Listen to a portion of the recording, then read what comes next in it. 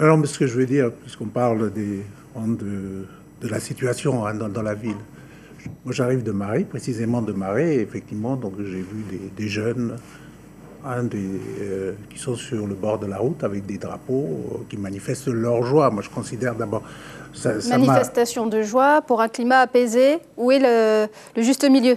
Climat apaisé, oui, tout le monde, et ça permettra notamment de, de répondre à la sollicitation de M. Santa. Et moi, je prends acte ce soir que euh, l'avenir en confiance demande à ce qu'il y ait un dialogue qui s'ouvre.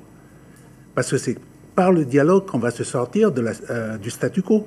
hein, qui, Un dialogue ici, à Paris, au comité des signataires, Euh, sous forme Ici et également donc euh, avec l'État, parce que on, on a parlé très peu de l'État.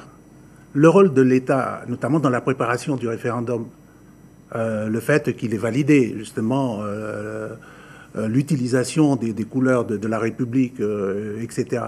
Je ne sais pas dans quelle mesure ça a joué là aussi. Le rôle de l'État qu'on a sollicité, nous, avant le référendum, pour ouvrir des discussions sur les sujets qui touchent à l'accord de Nouméa, à la question des transferts de compétences, etc. L'État n'a pas joué le jeu.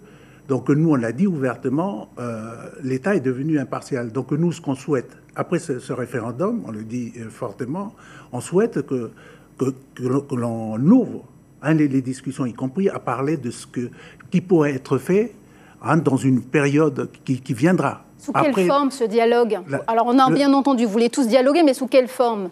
Un Il comité y a des eu des instances. un autre Il y a eu groupe de des, un comité des signataires, évidemment, puisque c'était l'instance euh, officielle, hein, donc, qui est liée à la, à- pour évaluer hein, donc, la mise en œuvre de l'accord. hein. donc c'est dans l'accord, mais euh, on peut aussi réutiliser les, les instances qui ont été euh, mises en place ici, que certains ont euh, déserté.